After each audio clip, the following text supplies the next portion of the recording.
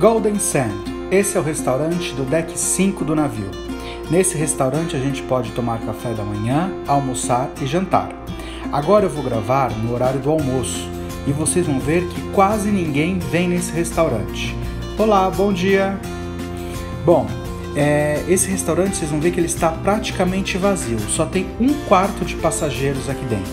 E detalhe, o outro restaurante igual a este, que fica no deck 6, que é o Silver Dolphin, está fechado, somente abre para o jantar. Bom, turma, esse restaurante ele é à la carte e grátis. Todos os passageiros têm um restaurante à la carte grátis, que será apontado no seu cruise card, qual é o restaurante que você vai jantar. Turma, por esse restaurante ter o serviço à la carte, os pratos são mais refinados e mais gourmets. Vale muito a pena jantar aqui. Porém, é um local que você tem que ter mais tempo para comer, pois demanda tempo de garçom, fazer pedido e vir pratos.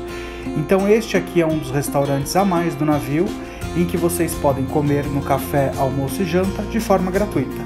Continue com o ambiente. Um grande abraço, turma!